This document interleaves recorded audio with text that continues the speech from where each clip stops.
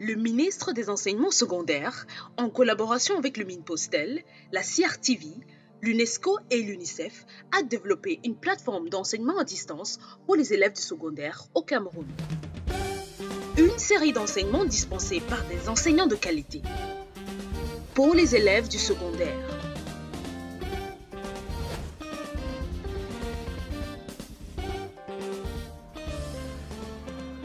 N'a jamais été aussi simple avec l'enseignement à distance.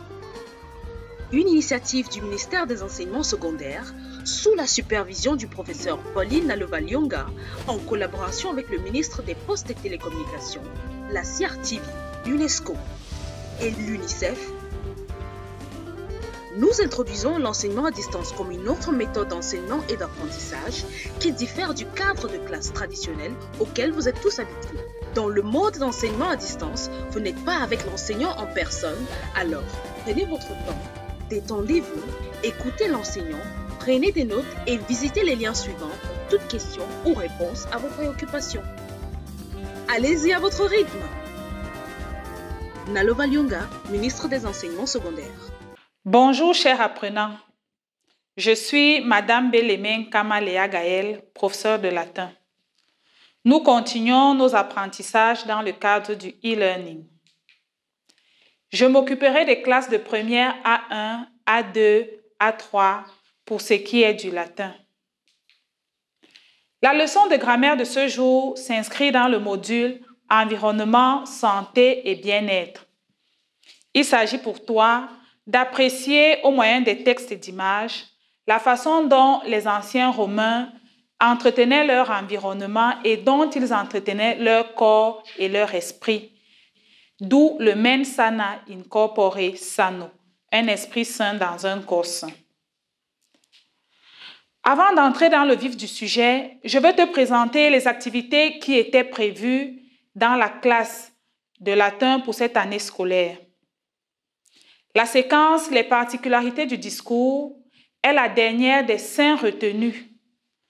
Nous avons déjà fait un bref rappel sur les déclinaisons et la place du verbe dans la phrase latine, la découverte de l'héritage culturel et historique de la Rome antique à travers les textes, déterminer les particularités poétiques, les activités d'enseignement-apprentissage auxquelles nous allons nous atteler, nous conduirons donc à déterminer les particularités du discours. La leçon que nous allons voir fait donc partie de la cinquième séquence didactique.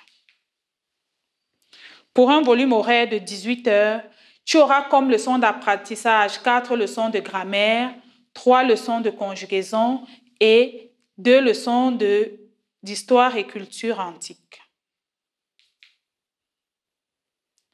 La leçon de ce jour est intitulée L'ablatif absolu. Sans plus attendre, prépare tes effets, stylo, cahier et ton dictionnaire de latin et installe-toi confortablement pour suivre cette leçon. Voici les compétences que tu devras acquérir à la fin de cette leçon.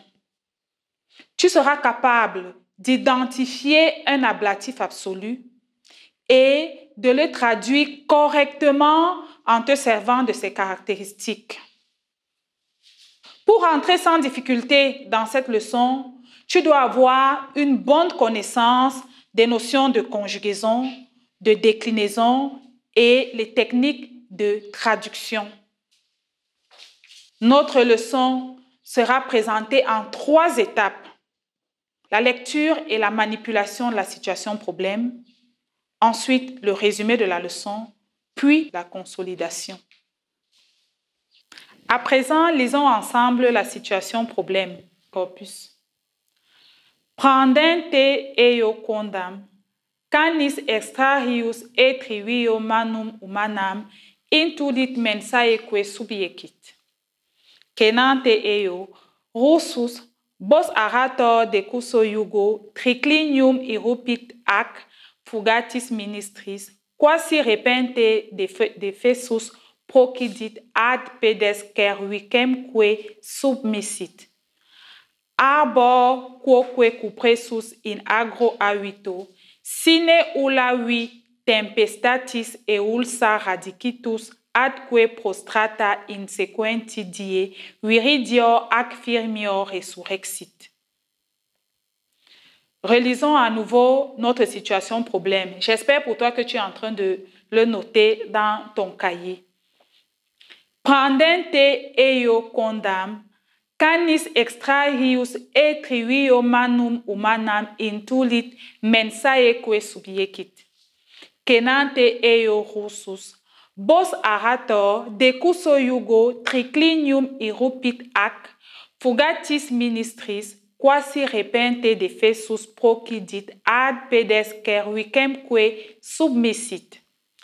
Arbor quoque cupressus in agro avito, sine ulavi tempestatis eulsa radicitus adque prostrata, insequenti die viridio ac firmior resurrexit.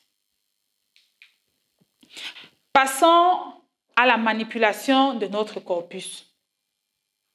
Première activité. Soit les groupes de mots suivants. Prendente eyo, kenante eyo, decuso yugo et fugatis ministris. À quelle forme verbale correspondent prendente, kenante, decuso et fugatis? Prendente eyo, kenante eyo, decuso yugo et fugatis ministris. Dis-nous à quelle forme verbale correspondent prendente, kenante, decuso et fugatis. Et souviens-toi de la conjugaison des verbes au participe. Je te laisse quelques instants pour réfléchir. Tu as certainement trouvé que prendente et kenante sont au participe présent et decuso et fugatis sont au participe parfait. Bravo. Nous passons à la deuxième activité de notre manipulation. Donne la nature de Eyo et ministris. Je te laisse quelques moments pour le faire. Donne la nature de Eyo et ministris. Bien, tu as trouvé que Eyo est un pronom démonstratif, alors que ministris est un nom commun. Félicitations. Terminons notre manipulation avec cette troisième activité. À quel cas sont les groupes de mots? Et que remarques-tu? Les groupes de mots que nous t'avons donnés tout à l'heure, prendente eyo, kenante eyo, decuso yugo et fugatis ministris. Dis-nous à quel cas ils sont et quelles remarques fais-tu? Tu as quelques instants pour le faire. Pour cela, tu devras te servir de tes leçons sur la troisième déclinaison.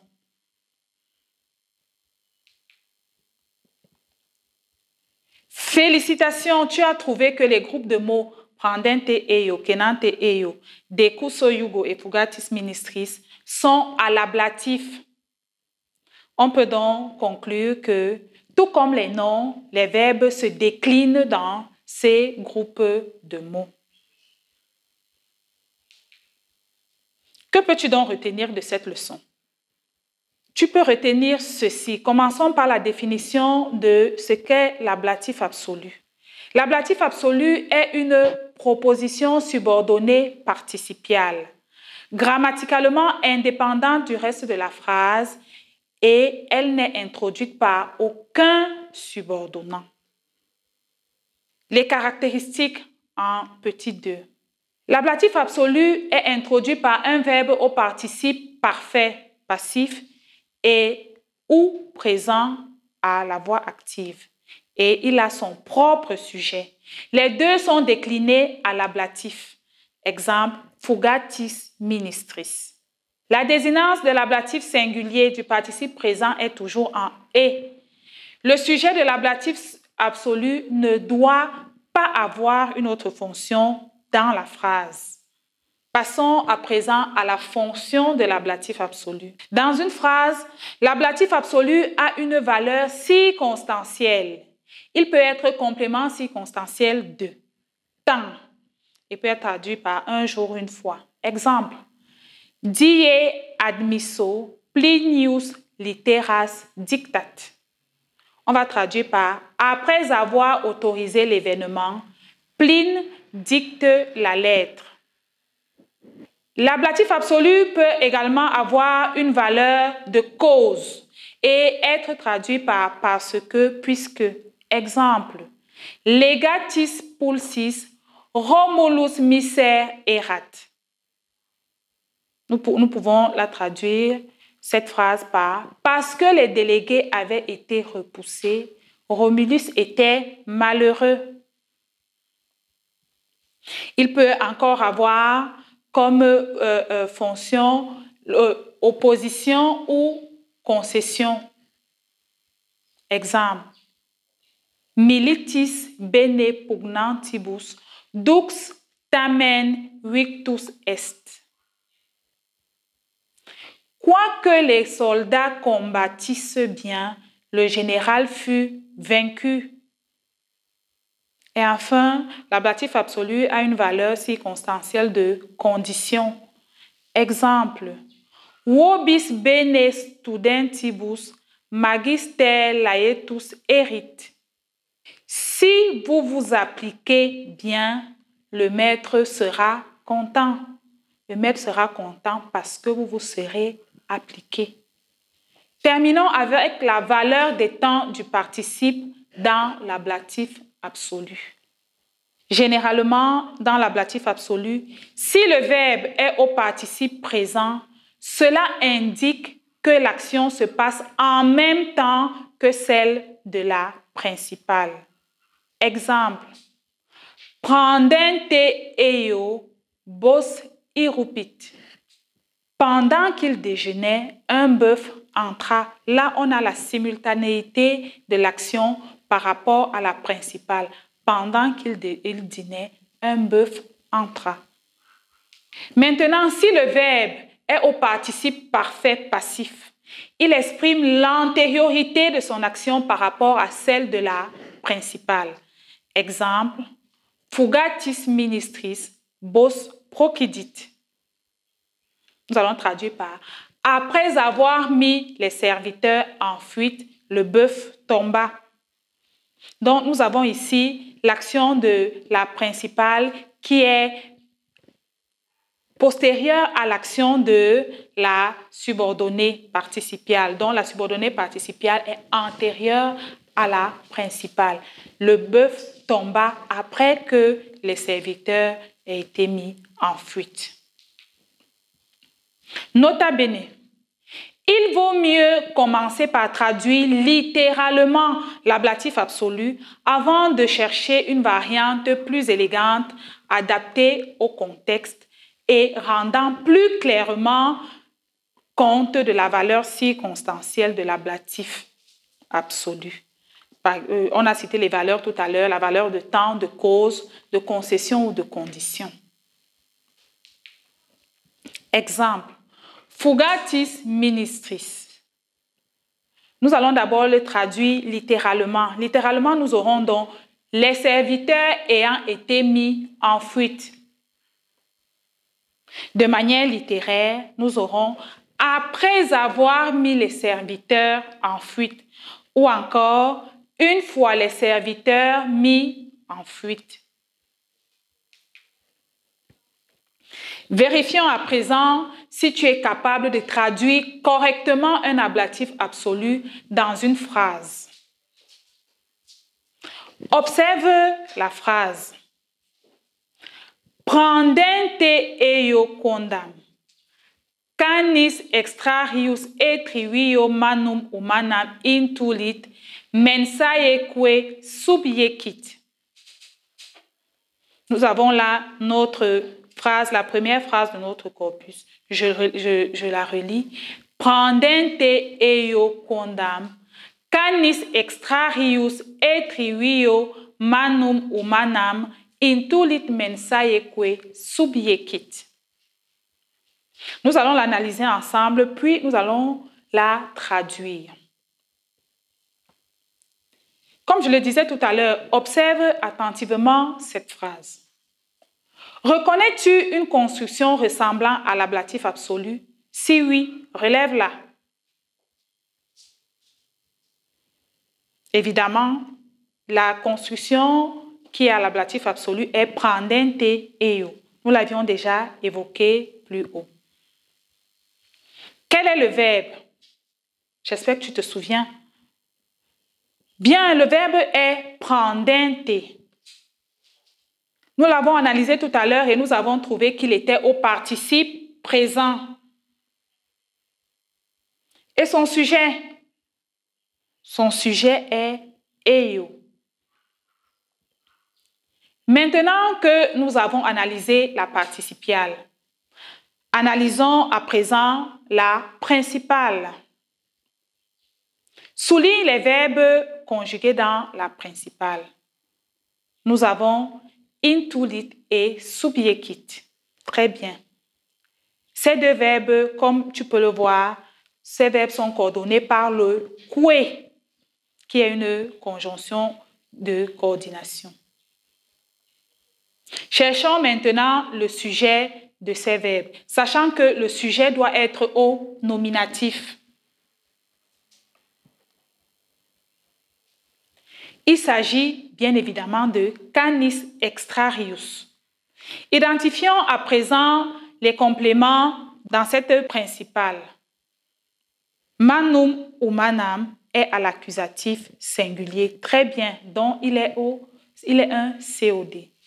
Triwio, lui, est à l'ablatif précédé de la préposition et. On sait que la préposition est entraîne l'ablatif. Mensaye est au datif. Lui, est au datif parce que le verbe quitte entraîne un datif. Passons à présent à la traduction. Je suis sûre que tu as traduit comme moi un jour, celui-ci déjeunant, un chien étranger apporta d'un carrefour une main humaine et l'a mis sous la table. Ça, c'est la traduction littérale. Un jour, celui-ci déjeunant, un chien étranger apporta d'un carrefour une main humaine et l'a mis sous la table. Maintenant, la traduction littéraire, nous aurons un jour, pendant qu'il déjeunait, un chien étranger apporta d'un carrefour une main humaine et l'a mis sous la table. Félicitations, ça prouve que tu suis avec moi la leçon. Pour finir, je te propose cet exercice à faire à la maison. Nous le corrigerons lors de notre prochaine rencontre. Tu es appelé à traduire à l'aide de ton dictionnaire le reste du texte en bon français. Évidemment, tu te serviras des caractéristiques de l'ablatif absolu. Voici les références bibliographiques qui t'aideront à parfaire la leçon du jour, dont tu te serviras de ces différents sites Bibliotheca Classica Selecta et www.arrête-ton-char.com pour euh, davantage euh, euh, faire des recherches sur la notion du jour. Nous sommes arrivés à la fin de ce cours. Nous avons ensemble défini ce qu'est un ablatif absolu. Nous avons vu ses caractéristiques, nous avons donné ses fonctions et nous avons vu la valeur des temps du participe dans l'ablatif absolu. Le prochain cours portera sur le mythe d'Orphée. D'ici à ce qu'on se revoie, porte-toi bien.